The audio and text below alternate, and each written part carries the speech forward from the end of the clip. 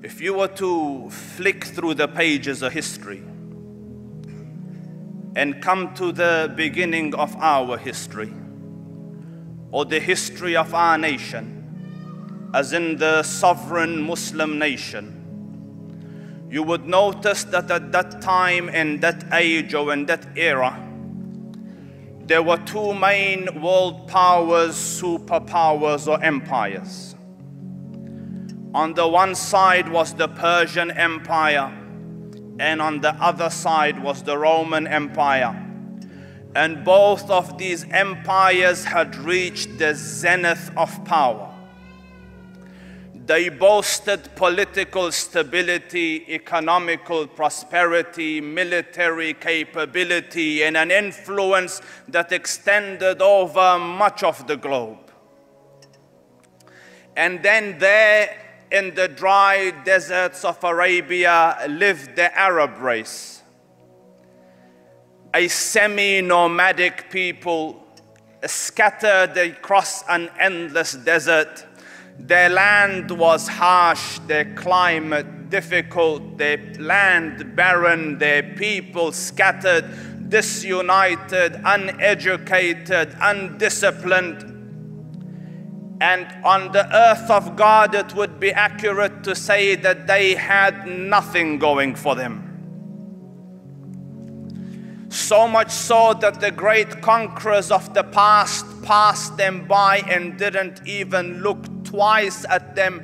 They didn't even consider them a people worthy of conquest. Alexander the Great passed them by, the Romans passed them by, the Persians passed them by. They were an unnoticed, insignificant, uneducated, unlettered, undisciplined, disunited, scattered group of people that added up to nothing much in the annals of human history.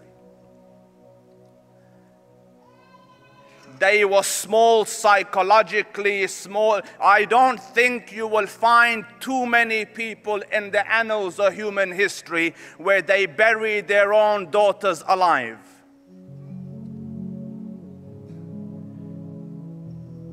Politically, they thought small, they aimed small one of their greatest men, eh, you know, eh, this is later on, but eh, the reference that I am giving here is in his days before Islam.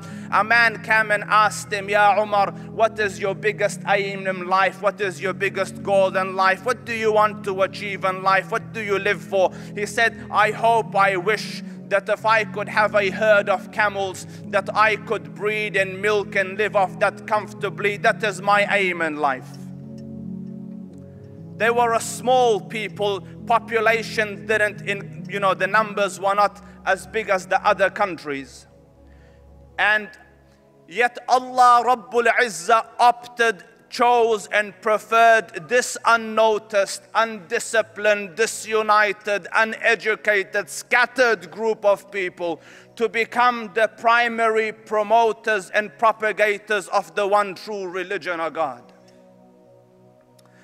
and I study history and I contemplate deeply about it, and for the life of me, I am thinking, Ya Rab, the Romans were there, the Persians were there, armies were there, governments were there, governance were there, pomp was there, ceremony was there, and you opt for this unnoticed, disunited, undisciplined, uneducated group of people to become the custodians and the promoters and propagators of the salvation of the human nation.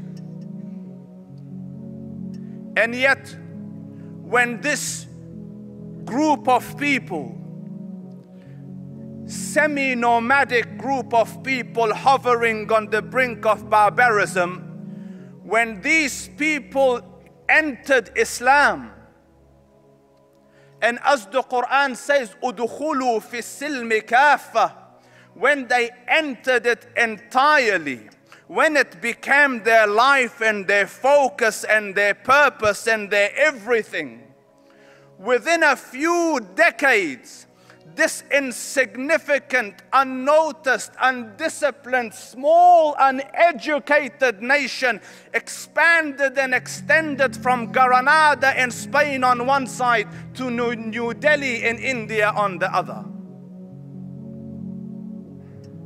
There is history is making a point here. My Lord is teaching a lesson here. And that point in that lesson is this that you can be the lowest of low, the most insignificant, unimportant, undisciplined, disunited nation on the face of this earth. But if you were to cling to this rope of Allah, واعتصموا بحبل الله جميعا you will reach the pinnacles of human achievement there is not a second truth beyond this and so far as they held on to this deen, there was not another nation that could show light to them. History calls them the torchbearers of light and education. At the time the Prophet came, sallallahu alaihi wasallam, to Mecca, the historians record that there were 18 people that could read and write in the whole of Mecca. 18. By the time the Prophet left, Arabia had become teachers of the world. And that same Umar ibn al-Khattab radiallahu anh, who yesterday wanted to have a herd of camels, they ask him now after Islam, Ya Umar, what is your goal? What is your purpose? What's the mission of your life? What do you want to live for? He says, I want to struggle till the deen of Muhammad reaches every corner of the globe. The small became world notable, the unnoticed became significant, the localized dreams became world vision. The secret formula of change and success was Islam.